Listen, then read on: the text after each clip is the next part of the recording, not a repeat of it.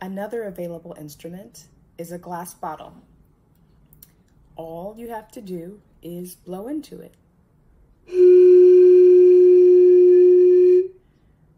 Now, it does take some technique to figure out exactly how to blow into it, but once you get it, you'll always know it. So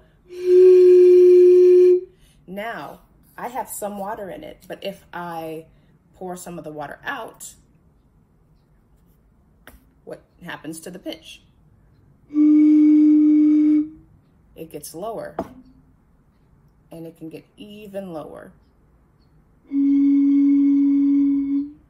So if you had several glass bottles with different amounts of water in it, you can make lots of different kinds of music. So that's another instrument that you could have just sitting inside of your home.